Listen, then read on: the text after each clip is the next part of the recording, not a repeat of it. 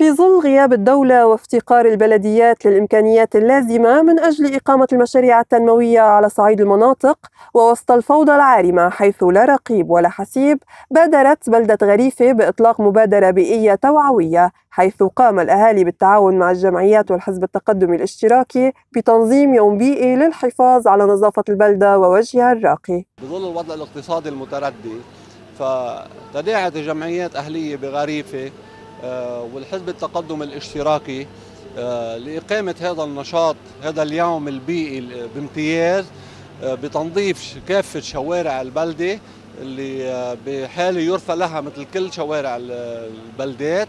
حيكون في عنا حلقة إرشادية توعوية بفرز النفايات والمحافظة على البيئة. بتجمع من مخاتير غريفة وبغياب النشاط الدولي. عم نقوم نحن بأعمال نغطي شوي بس لأنه أوضاع الاقتصادية صعبة بالبلد. عم نقوم نحن كالمخاتير بهالعمل.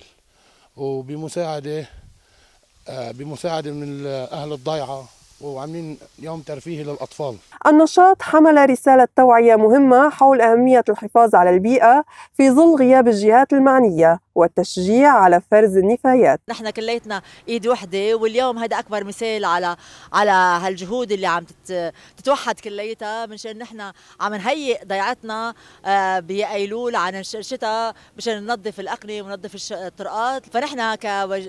عم نعمل واجباتنا كمواطنين بغريفة ونحن بنتمنى كل الناس تتعاملنا مثل لها لأنه حقيقة نحن الوحدة الموجودة بغريفة بكل ش... بكل الجمعيات وحزب وكل الناس كليتنا إيد وحدة وكليتنا بننظر على شغلة وحدة بدنا مصلحة ضيعتنا ومصلحة أهلنا. نحن عاملين يوم بيئي لتنظيف الضيعة وفرز النفايات نعود الناس على فرز النفايات وإن شاء الله تكون هالخطوة آه، جيدة للأمام ومستمرين فيها. عم نساعد أهل الضيعة وعم نحط الكرتون يحل البلاستيك يحل والإزاز يحل لم يخلو النهار من روح التعاون والعمل الجماعي حيث اندفع عدد كبير من أهالي البلدة والجمعيات الأهلية فيها إلى المشاركة جامعين بين العمل وإطفاء أجواء من التسلية والفرح من خلال إقامة نشاطات للأطفال.